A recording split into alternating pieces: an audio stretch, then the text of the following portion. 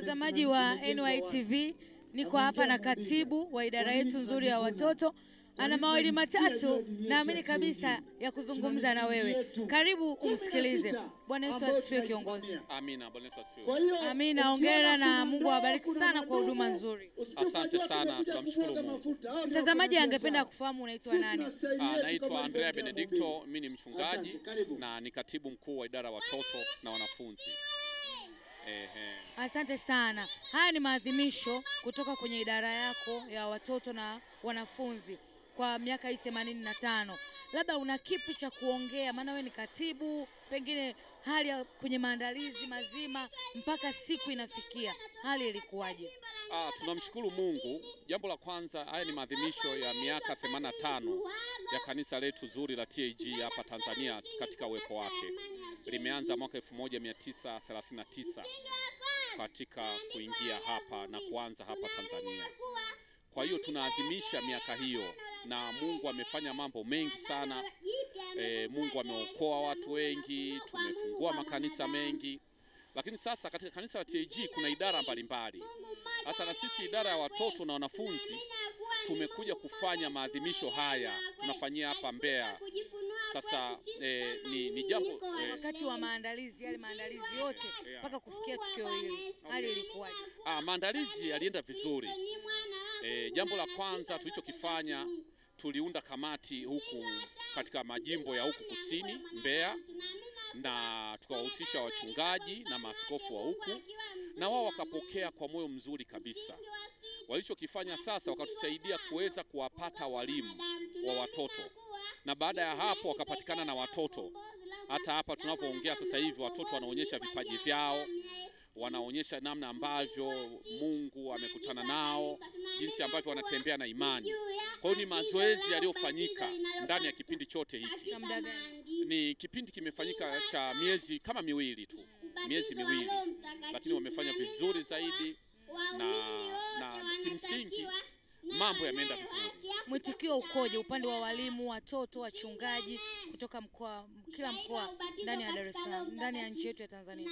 Yaani si unaona hapatoshi, kwa maana ya kwamba watoto ni wengi zaidi ya elfu tatu wamekusanyika hapa, lakini cha pili, wachungaji ni wengi zaidi ya hata mia tano wamekusanyika hapa.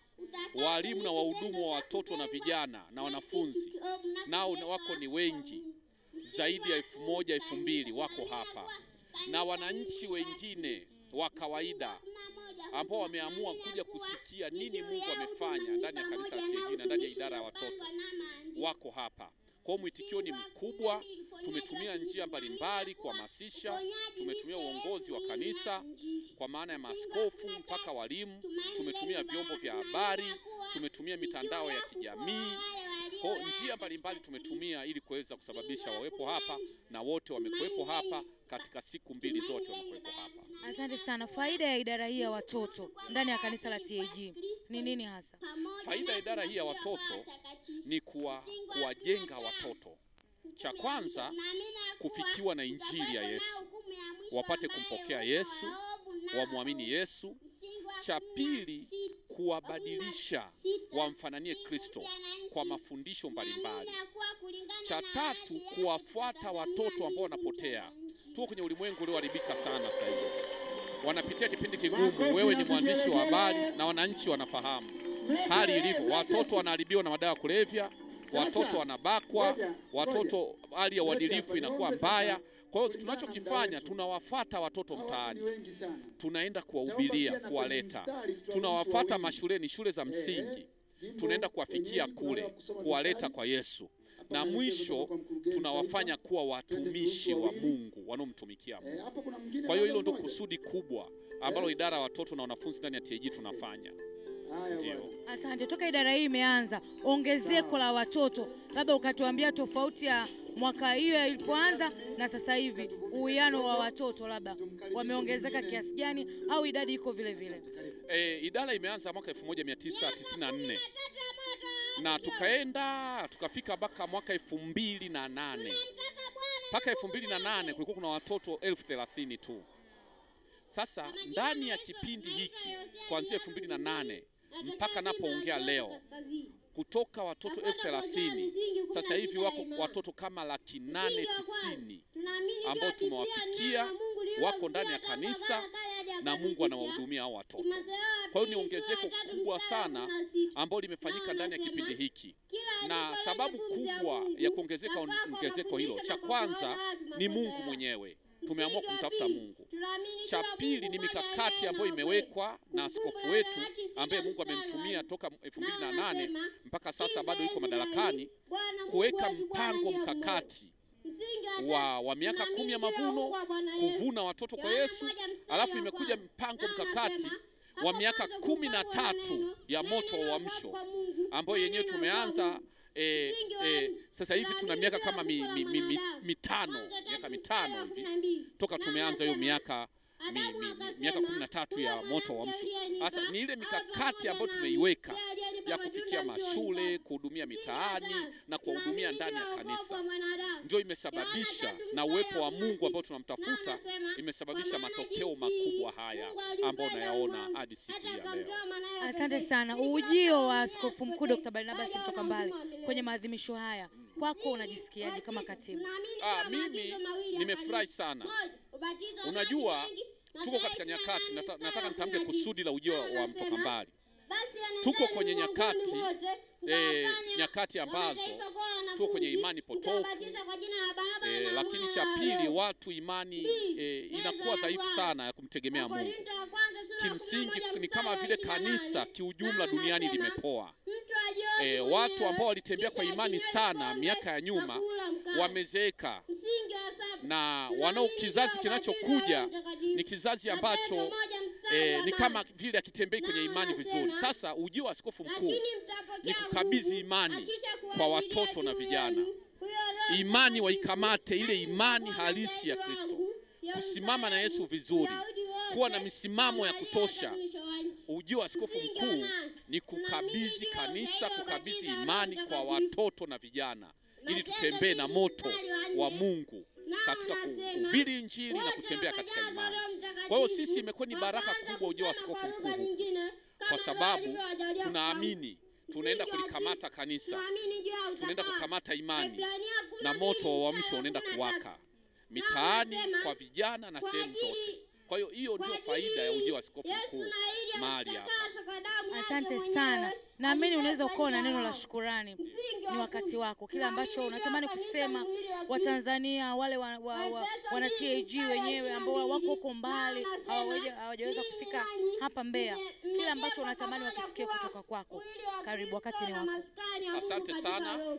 Jambo la kwanza ambao kwanza waelewe kusudi la maadhimisho ni kumshukuru Mungu.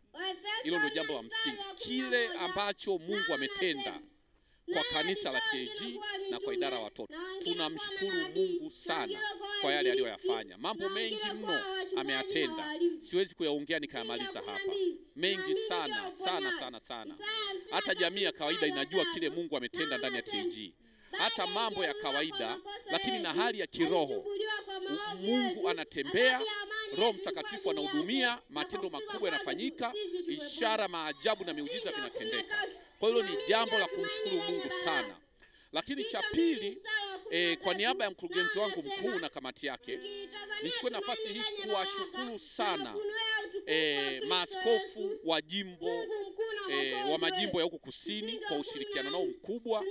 Kwa kweli wametupokea na wametupa sapoti ya kutosha. Ule wenyeji wao, wameleta watu hapa, wameleta makanisa yao hapa, wameleta viongozi hapa, wameleta watoto. Unavyoona watoto wengi wako hapa, wamewaleta hapa. Tunawashukuru sana, lakini pia sio hilo tu, hata kwa fedha ambazo wamezitoa ili kukamilisha shughuli hii ya kumshukuru Mungu. Kwa hiyo tunawashukuru sana walimu wa watoto, wahudumu wa watoto walioweza kufika, lakini pia tunawashukuru hata na watu waliotoka mikoa mbalimbali. Kuna watu wametoka Mwanza, wametoka Shinyanga kuja Mbeya kuja kusherekea. Hii ni sherehe ya shukrani, kumshukuru Mungu. Kwa hiyo nawashukuru wote ambao wamehusika katika shughuli hii kwa namna moja au namna nyingine. Tunawashukuru watu wa vyombo vya habari kama nyie ni YTV, Radio Ushindi, watu wa mitandao ya kijamii, na wengine wote kwa kuweza kushiriki maadhimisho haya bega kwa bega na sisi. Ndio. Asante sana. Neno la mwisho kwa walimu sasa. Sasa walimu, nawapa neno la mwisho. Sasa tunamshukuru Mungu, walimu tumetoka hatua moja tunaenda hatua nyingine. Nataka kuwapa shukrani za kutosha, lakini cha pili eh, maadhimisho haya yatupe nguvu mpya ya kuingia kuvuna watoto. Twende mashuleni, twende tukavune watoto, tukafundishe watoto, twende mitaani, twende tukawatafute watoto na vijana, twende kila eneo. Walimu wa watoto, ni wakati wa kwenda kuwafikia watoto kwa nguvu zote, ili wasipotee mtaani, shetani asiwakamate watoto, bali watoto waje kwa Yesu. Kazi inayofanywa ni walimu ndio wanaofanya hiyo kazi. Kwa hiyo hilo ndio ombi langu kwa walimu wa watoto na wahudumu wa watoto, sio wa TAG peke yao, hata wa madhehebu mengine. Wahakikishe wamefika mtaani, wawatumikie watoto na kanisani, wawafundishe watoto, waikamate imani hii ili wafanyike kwa watumishi na hata kwenye siasa na kwenye jamii wafanyike kuwa watu wenye uadilifu mkubwa katika kumtumikia Mungu na kutumikia jamii. Walimu wafanye hiyo kazi. Asante sana mtazamaji. Ni katibu ameongea mengi, sina haja ya kuyarudia, nimwache akaendelee na majukumu mengine. Mungu akubariki sana. hapo, nitaomba ile mas mas kwaya tumalize.